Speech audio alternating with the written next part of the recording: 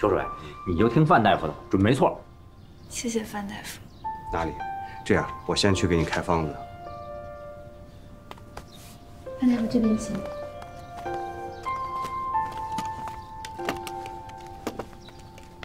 秋水，这是我哥让我捎给你的啊，化妆盒，还有这丝巾，你看啊，多漂亮！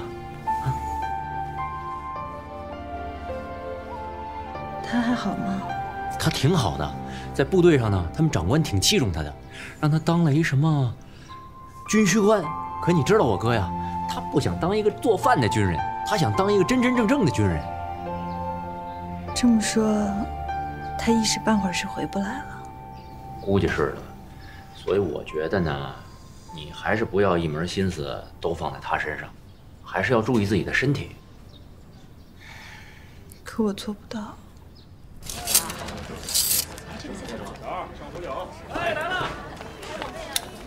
老丈夫，这几天生意不错吧？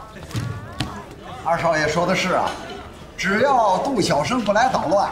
客人就放心了。这玩意儿啊，放在这里碍手碍脚的，您看怎么处置呢？点个菜。哎，阿文，过来过来。二少爷，我这东西啊，拿到后厨烧了。哦。二少爷，二少爷。刘胖子，又来我们楼外楼蹭吃蹭喝啊？哎，你误会了，这次我过来我找。我老大前两天在这留的那几个字儿，什么老大？啊，就是我三哥，他现在可是我们青帮的老大。他当老大了，可不吗？原来的老大跟云中武在上海火拼的时候，俩人一块去见了阎王，杜老板就任命我三哥为老大。我早说过，我三哥不是等闲之辈。你把我三哥，不，我老大，那个什么板板板板桥体那个墨宝，卖给我。你要那东西干嘛呀？这你就不用管了。是你老大让你过来拿的？这倒不是。不是？那你让杜小生自己过来拿。二少爷，二少爷。我用大洋买还不行吗？二十个大洋一幅，你买吗？二十个大洋，就这么定了。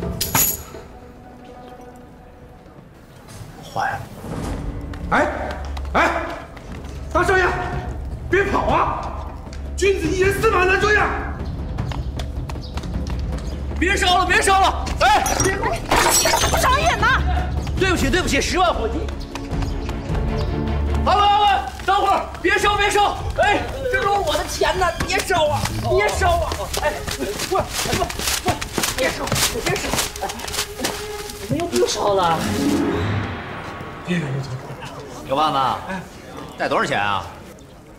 八十大洋。八十个大洋，二十个大洋一幅，八十个大洋就买四幅。别说我不告诉你啊！你老大写这字儿，有公有母，成双成对，对仗工整。哥，你这干嘛呢？我给刘胖子说他老大字儿呢。二少爷，嗯，这字儿还分公的母的？这你都不知道啊？你看着，梁山伯欢喜祝英台，梁山伯是谁啊？这又是公的。这个雷峰塔镇住白蛇妖。白蛇妖，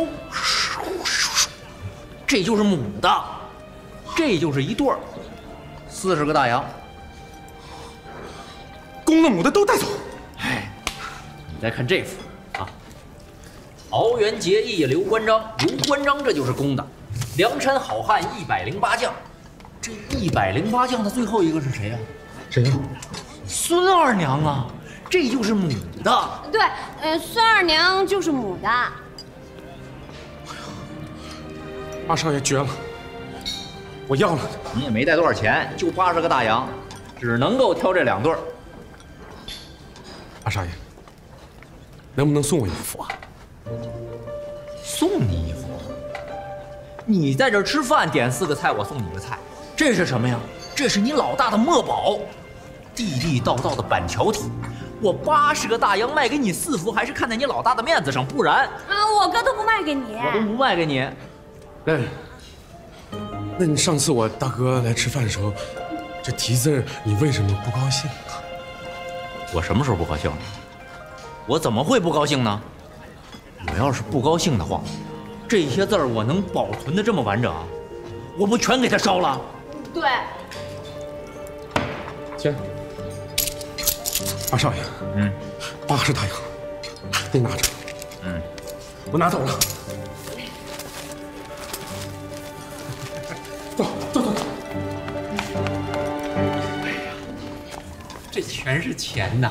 哥，太厉害了你！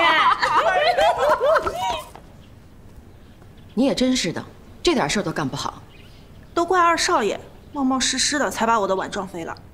总有理。母妈，您来了？啊，怎么了？也没什么，就是给您炖的银耳莲子羹不小心被二弟打翻了。哎呦，这个冒失鬼！母妈，我跟你说件好玩的事儿。你又怎么了？不知道怎么回事，这个青帮的刘胖子跑到咱们这儿，用八十块大洋买了四幅杜小生的字儿，还乐得合不拢嘴。二哥还糊弄他说这些字还分公母呢。啊，这怎么分啊？二哥说桃园三结义就是刘关张，这刘关张就是公的。梁山好汉第一百零八个，这第一百零八个是孙二娘，就是母的。胡说！《水浒》里面第一百零八个好汉，那是金毛犬段景柱，孙二娘。真的呀？没想到嫂子你还熟读《水浒》呢。我听你嫂子说。你在卖杜小生的字儿啊，还是高价出售？我那就是跟刘胖子逗个闷子，开玩笑呢。我没想到那个家伙愿意花那么多的钱买那鬼画符。我跟你说啊，我们跟杜小生啊，算是了了。可他毕竟是黑道上的人，离他远点，不能敛这种不义之财。再说了，这字儿啊，你没资格卖，是你嫂子留下的，不然的话。早就被烧了。母妈，我留下的字是为了以防万一有什么用处，不是，不是留下来做交易的。听见没有？您的意思，我明白了。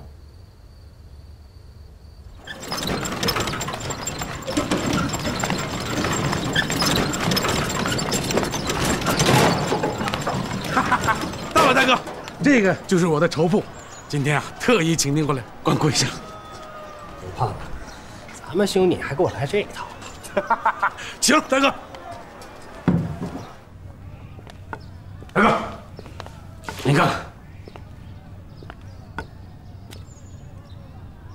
但你别说啊，但仔细一看呢，对账确实工整。有人生下来一吆喝，那就是天生的名角。但也有人唱了一辈子，那还是老鸭叫啊。您这不一样，大哥，您这是天生的，文曲星下凡。行了，刘胖子，就别捧了。你不就是看中二当家这把交椅吗？交给你了。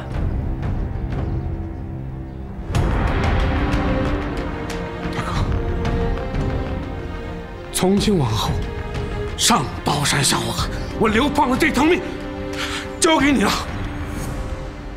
哎呦，这咋事啊？这么长时间了，手急送啊，还不出来呀？这后边干什么呢？这些人都是过来买你墨宝，我都站累了。二少爷，哎，你这是让我们等到什么时候啊？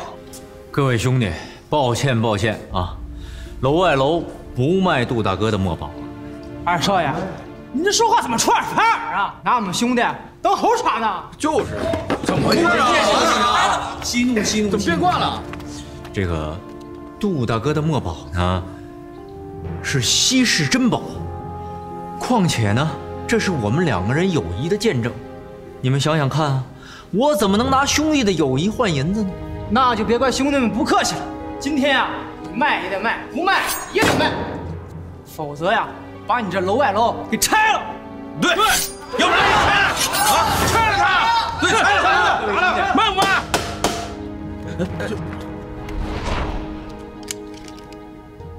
谁敢在楼外楼闹事，我就砍了谁的胳膊！三哥，多亏您来了。二少爷，刚才你的一番话，太让人感动了。你放的银子不要，却决意收藏我的那些字儿，让我折服，够兄弟，够爷们儿。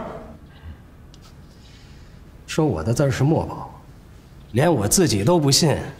但二少爷，你看中我的字儿，完全是给我面子。你们都给我听着啊！二少爷不计前嫌，以德报怨，是重义气的哥们儿，还是我的救命恩人。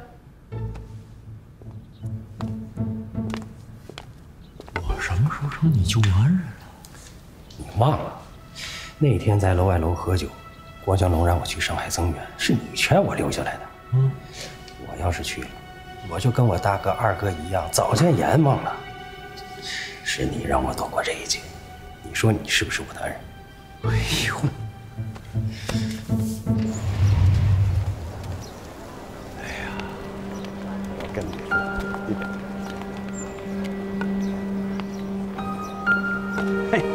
哥，哥，怎么了，哎呦哥，来，我给您介绍一下，这位是杭州大名鼎鼎于都军的大舅爷，哟，叫曾肥，哟，曾肥，曾国藩的曾。你瞧我爹给我取的这名字啊，叫给叫胖了。这位是我堂哥，哎，是咱们老燕京的大掌柜。鄙人赵老宋啊，请。自古圣贤皆寂寞，唯有隐者留其名。来，我敬曾先生一杯。来来来，干！啊，请。哎，呃，我有些事情，先走一步啊，请坐，请坐。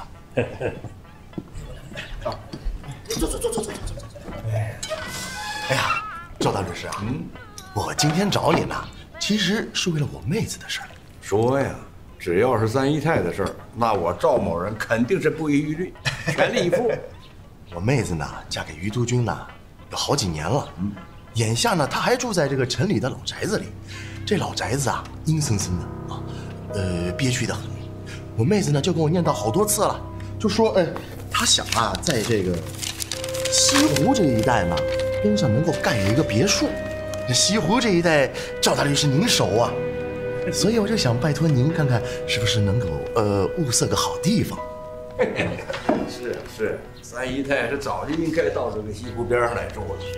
这地方你看，湖光山色，风景如画，空气新鲜，人在这儿住，那必定是心旷神怡，长命百岁。半仙儿，哎，看风水这是你的强项，你帮三姨太选个风水宝地吧。行啊，我来吧。半仙儿，呃，有什么高见没有啊？哎呀，三姨太盖别墅选址是大事啊，光看地图不行啊，得带上罗盘，到西湖边上是直接勘察。好。只要把风水看好了，我妹子必当重谢。行，那个大舅爷呀，哎，如果我说的是如果，嗯嗯是，在选好的地址上，有人盖了房子怎么办？这还不简单，买下来给他钱呗。那给钱了他也不让呢？哟，杭城还有这样不识好歹的人啊啊！他连于督军的面子都不给。有您这话我就放心了。多吃点啊！二位师傅，来来，尝尝我做的红烧肉吧。哟，这应该是后臀尖子的肉吧？大少奶奶，这三槐师傅没跟你说，这后臀尖子的肉是不能用来下酒的。三槐师傅说了，后臀尖也分前臀和后臀，前臀的肉肉质鲜美，口感也很细嫩。用来下酒也是不错的选择，您尝尝吧。等等，我先尝尝吧。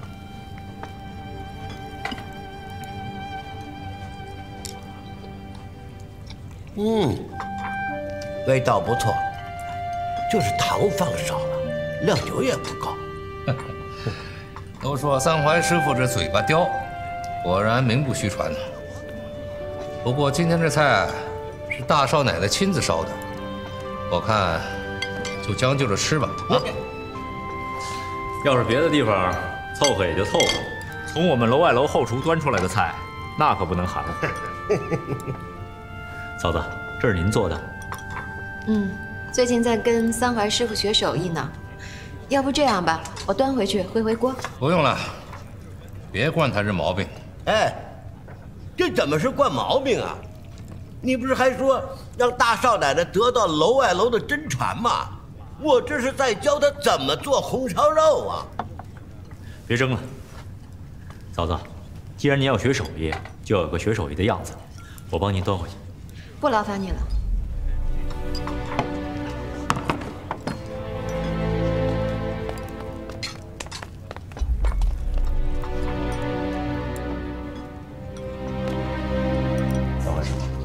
我嫂子真在跟你学手艺。是啊，就是从办笔会的那天开始啊，她经常来后厨帮忙，对大家可热情了。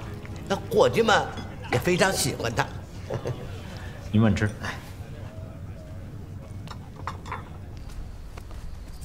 姐，是阿文让我交给你的，说这是二少爷卖字挣来的钱。这是跟我较劲吗？不敢反驳他母妈，就用这种方式来羞辱我。来来，再喝一杯。来，舅舅。爸，你们喝。我这个年纪啊，酒量得适中。舅舅，您这是酒酣胸胆上开张，病危双又何妨？来来来，干一杯。你们喝啊。掌柜的，我给你喝。来，你别叫我掌柜的，还是叫我二少爷。我这掌柜的呀，只是临时的。这楼外楼的大印啊，还得交到我哥手上。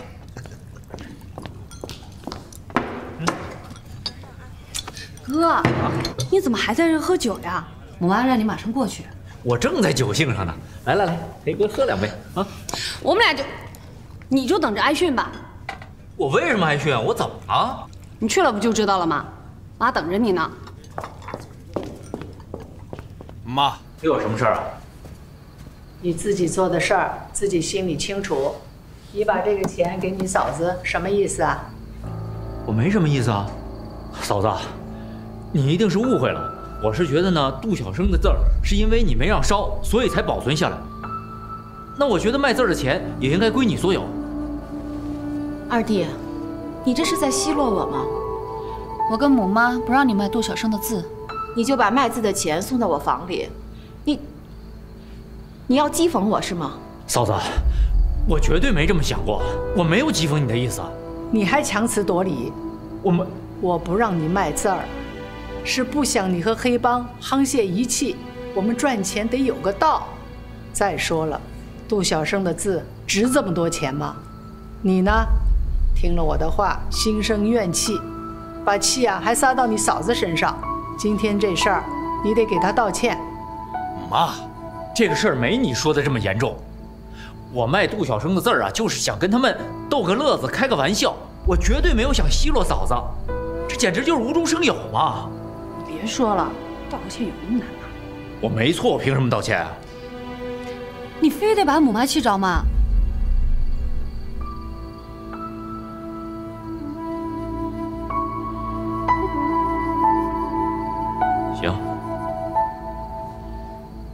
给嫂子道个歉。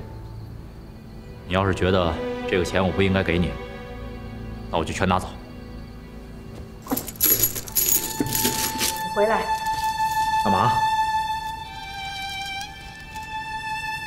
你们知道西湖醋鱼的故事吧？妈，我知道，可是我不太清楚。那我就跟你们说一说。这西湖醋鱼啊，本来就叫叔嫂传真。相传啊，很久以前有两兄弟在西湖以打鱼为生。那个恶霸呢，看上了大哥的媳妇儿，要强占她。大哥不从，恶霸呀就害死了大哥。后来，兄弟和嫂子啊到官府去告状，这官府和恶霸勾结一气，又加害兄弟。兄弟没办法，只能离家出逃。离家前呢，嫂子给兄弟啊做了一碗鱼，加糖加醋，做法异于他人，就是想让兄弟记住家里的辛酸。后来，兄弟当了官，回家乡呀，惩治了恶霸。这西湖醋鱼的做法也就这样传下来了。听明白我的意思了吗？妈，我知错了，不应该猜忌二弟。你呢？听明白了吗？你嫂子啊，已经是洪家的人了，今后啊，不管遇到什么困难，都得相互帮衬。我明白，妈。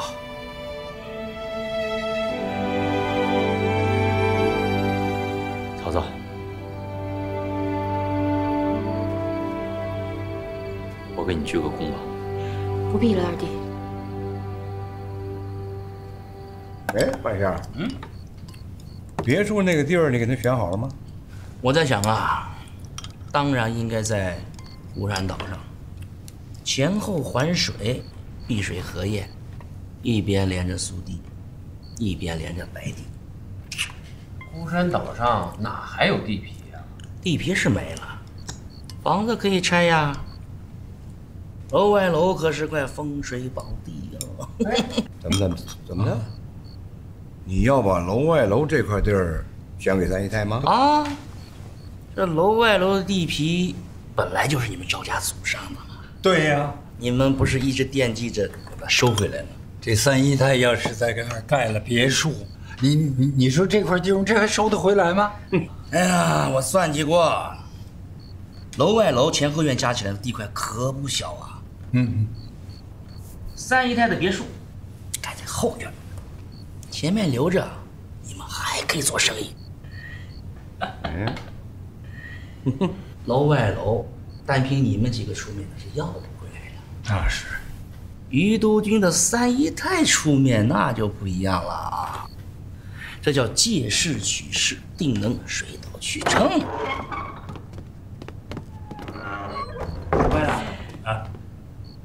人我给你带来了。大表舅，你找我干什么？我花了那么多钱把你安插在楼外楼，让你学点东西，啥也没学到，偷点手艺嘛也偷不着。我把你安排在那干什么呀？我，大表舅，这您就不知道了。那楼外楼有些菜的配料和秘方，那都是保密的，就连我三槐师傅都不知道。你你你这。那杜小生跟洪家二少爷结为兄弟，这事儿你总该知道吧？对呀、是，这个我知道，但是他们怎么成为兄弟的，我就不清楚了。你就一废物！行了，每个月给你那些钱你也别拿了，你还是在他们家好好当你的伙计。行了啊！别别别别，赵大律师，大表舅，我还知道一件事儿。说，这前些日子吧，阿文跟着二少爷去了外地，最后听说好像是去了广州，是去找他们家大少爷。我还知道他们家大少爷投奔了孙中山的队伍。什么？投奔了孙中山？哼，这可是杀头的罪名。如果你说的是真的，那楼外楼肯定脱不了干系。哎呀，我说家宝啊，这不年不节的，怎么想起请我们吃大餐了？啊，请你们吃饭啊，两个意思，一是要感谢范大夫，你帮秋水看病，我听说啊，秋水吃了你的药，已经药到病除了。第二个意思呢，还是生意上的事情，希望二位帮我出谋划策。没问题，就凭这桌上好的酒席啊，我们也定当尽心竭力。是这样啊，以文兴楼的方略，现在我们已经有了，但是具体该怎么办，还请二位帮我指点迷津。我倒是有这么个想法，你看能不能把戏文引进咱们楼外楼啊？啊，比如说在这大堂搭一个戏台，每逢周日请名家来登台献艺。好啊，这主意太好了。呃，楼外楼，呃，有戏文，还有字画，呃，还有精美的菜雕，这完全营造了一种浓重的文化氛围啊！好啊，你这一个点子，我这顿饭值了。哎，别急，别急，还有一个想法呢。你看咱们楼外楼哪儿都好，就是这包厢的名字，你看，比如说什么绿湖啊、春湖啊、镜湖啊、秋湖啊，太俗了。那您的意思呢？咱们楼外楼紧邻着西湖啊，西湖十景是脍炙人口，比如说曲院风荷啊、平湖秋月、断桥残雪、柳浪闻莺、花港观鱼、雷锋夕照。能不能让顾客品尝美味佳肴的同时呢，又对每一道菜的典故跟出处有所了解呢？就像这个宋嫂渔羹，就跟当年宋高宗游历西湖勾连起来。就是说，宋嫂渔羹要引出宋高宗当年游西湖的事儿，鱼头豆腐呢，咱们就要说说乾隆皇帝下江南的故事；东坡肉就得说说苏东坡；西湖纯菜羹，咱们就说说张翰的典故。哎，就是这个意思。这太棒了！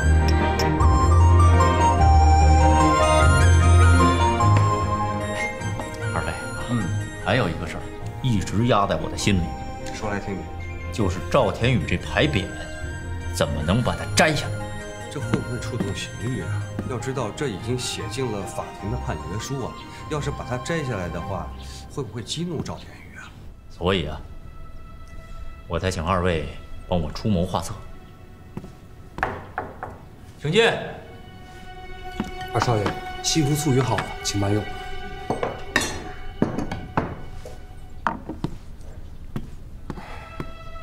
这伙计以前就在这儿吗？对呀、后厨的，王三槐师傅的徒弟。那这菜怎么不交给跑堂的他端上来了？哎，这一忙起来啊，就分不出来了。我们言归正题，这赵田宇的牌匾，现在要是不把它摘下来，以后就更摘不下来了。你那份份子钱呢？这儿给你留着，你就放心吧。你不在那儿还有一份工钱呢吗？对。呃，楼外楼那边最近有什么动静？有，听说老太太要回徽州老家，好像是老太太的大姐病了，病得特别严重。至于什么病，去去去去去去去！他们家事儿跟我有什么关系啊？说点正经的。还有，就是我听说，洪家二少爷要把赵大律师那块匾给弄下来。他没那个胆量，也，哎呀，他现在自己还自顾不暇呢，他真是别人。家宝，你从哪儿弄来这辆车呀？要花多少银子？这租金没多少钱，这车好妈，这车开着快还稳当。萌妈，这是哥的一片孝心，你赶紧上车吧。家宝，哎，妈不在这几天啊，你要多操心点啊。现在时局混乱，我们楼外楼啊刚开张不久，根据浮动，不可冒进。就像我们做菜。讲究中和之美，那意思就是把做菜的各种食材啊混在一起，达到和谐之美。反之就是极端，太酸的、太辣的，那些菜肴都达不到中和之美。这是取自孔圣人的中庸之道，其实做人呐、啊、也是一个道理。听明白了吗？听明白了。我不在这几天，你要对嫂子啊多加关心和照顾。啊，妈，我会照顾好自己的。妈，你就放心吧，我一定会照顾好嫂子的，也会照顾好咱们这个家。我连杜小生那样的小人都能收拾好，还有什么办不了的事儿啊？我就担心你这脾气。哎，我知道，知道。走。啊、姐，大姐这病啊，也不是一天两天了，万一有什么三长两短，你别太难过了。知道了。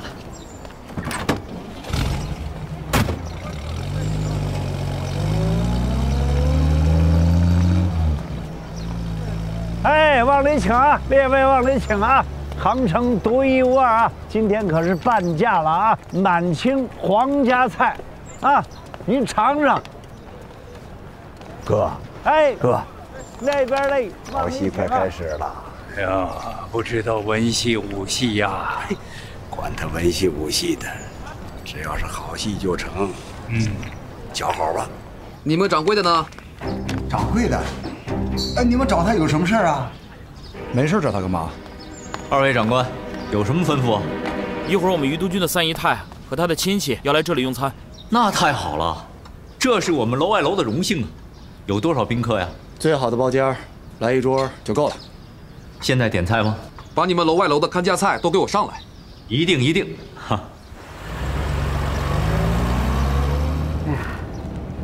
三夫人，令兄增肥托付我，说是要给你在西湖边上物色一块地皮盖别墅。哎呦，这几天呀，把我腿都跑断了。哎呀，但是我反复比较一下，我觉得还是咱们孤山地皮最好。哎，你看，你看，你看，你看，你看，哎呀，这就是大名鼎鼎的西泠社呀，号称天下第一社。在前面就是楼外楼了。哎呀，他是一个落地的秀才，开了一家小菜馆，七十多年呀，居然也是红红火火，风水宝地。三夫人，你的意思是让我在那儿盖别墅吗？对呀，孤山临湖，一边是苏堤，一边是白堤。这个孤山啊，就是在二龙戏珠那个宝珠的位置。如果三夫人的别墅能造在楼外楼那个位置上，不得了啊，不得了！不但于督军可以文治武功，百代永昌，你三夫人日后啊一定会扶正，成为正房。哟，不错啊，李半夏，果然好眼力啊！三夫人，请坐。啊，坐坐。只要你三夫人满意，我这就踏实了。是。哎哎，彩蛋彩蛋。三夫人。今天给您准备的都是楼外楼的看家菜，请过目。有什么不妥，尽管吩咐。嗯，不错不错。呃，冷菜热菜一块上吧。去吧。好。哎，白仙儿，哎，那我们这个事儿什么时候跟他们说呀？啊，那行，那你们就在这吃着喝着，我这就去办这件事儿。啊，无非就钱的事儿，简单。哎呀，只要他们不是狮子大开口啊，银子好说。哎呦，那行，那有你这话我就放心了。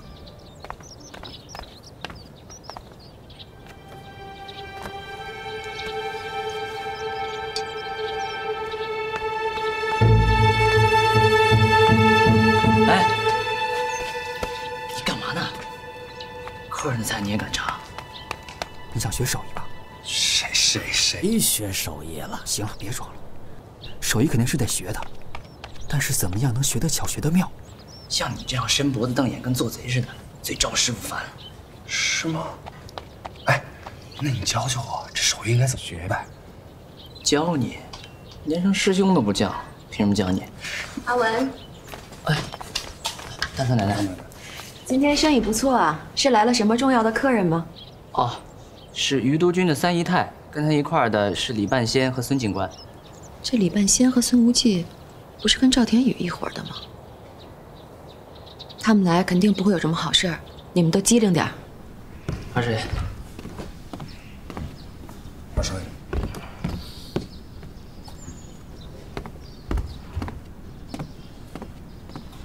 哎呦，二少爷，哎，介意不说话？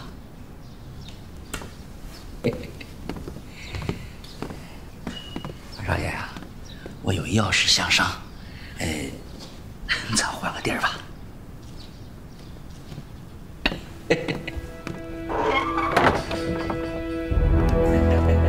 少爷，知道今天吃饭的那位太太是谁吗？我当然知道了，是于都军的三姨太。知道就好。咱俩是熟人，我说话就不绕圈子了。我今天来你能给我道喜？嗯，恭喜你们洪家要发横财了。有话快说。啊，是这样，于督军跟三姨太跟你们楼外楼有缘呐、三姨太看你们楼外楼特别顺眼，呃，跟于督军一合计，准备花一大笔的银子，把你们的地皮啊给买下来。买我们楼外楼的地啊！大白天的，你说什么鬼话？哎呀，你说什么话？你这什么叫鬼话？我这可是代表于督军跟三姨太商量来的嘛。行了，你开个价，多少银子？这楼外楼是我们洪家的祖业，多少钱我都不卖。不是，你你得想明白了，我这可是于督军跟你做这笔买卖。别以为我不知道，我这是于督军要跟我做买卖吗？李半仙儿，你别以为我不知道你在里面使了什么坏。洪家宝啊，我这是跟你好言相劝呢，千万不要敬酒不吃吃罚酒，你说你敬酒罚酒我全不吃，这天底下就没有生拉硬扯的生意。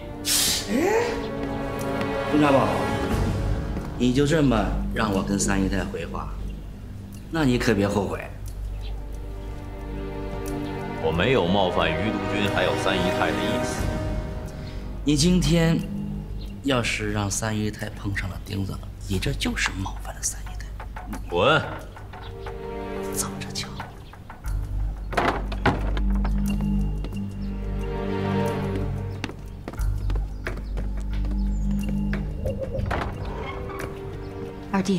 你冷静点儿。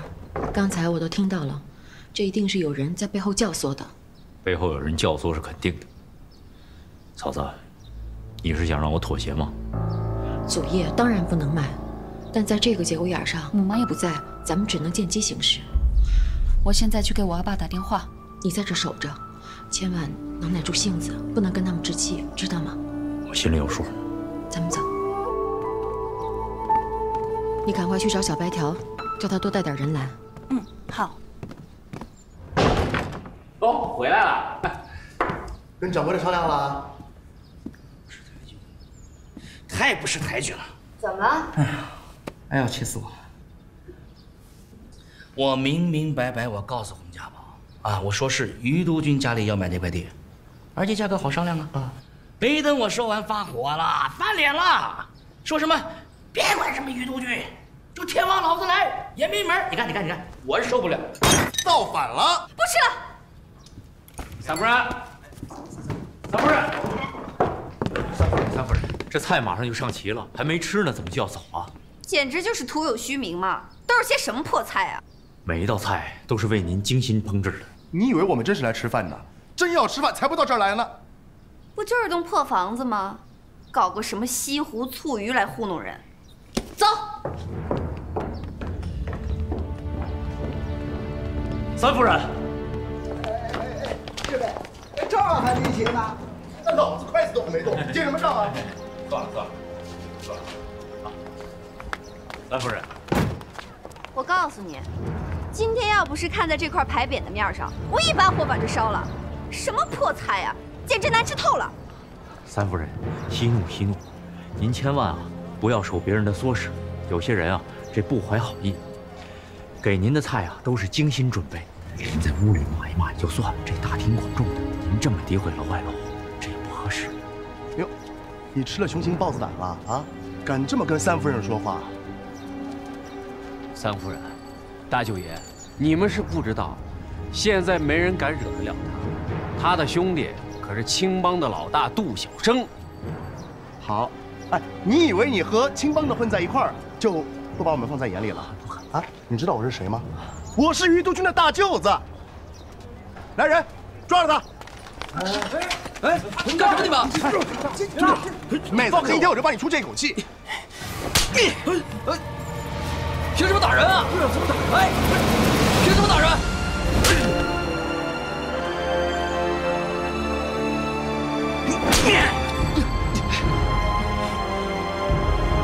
服不服？不服！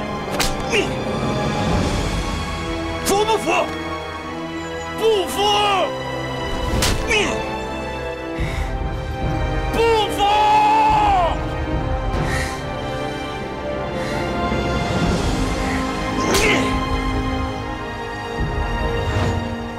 你 看到了吧？对面的武戏已经开场喽。有好戏看呐唐叔嗯？又是你唆使的。说什么呢？堂叔有那么坏吗？那孙无忌和李半仙在那儿干嘛呢？我哪知道啊？你看，你干什么去？这事儿你别搅和啊！瞧不起你们！站住！住手！不不，你华你怎么来了欺负人！你谁呀？你是谁呀？这这这这这没你什么事，你赶紧让开！走开！告诉他我是谁。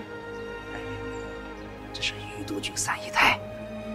于督军的家人，我不信。于督军是杭城的父母官，怎么敢在光天化日之下、大庭广众之下的欺负良民百姓呢？他勾结黑社会，辱骂于督军，这种人必须严厉处打。你胡说！给我打！你站！孙无忌，打完了送警察局。凭什么？国有国法，家有家规。你打了人，本身已经不对，现在还要把人带走。你要想把人带走也可以。通缉令呢？通缉令啊，我就是通缉令。你们让开。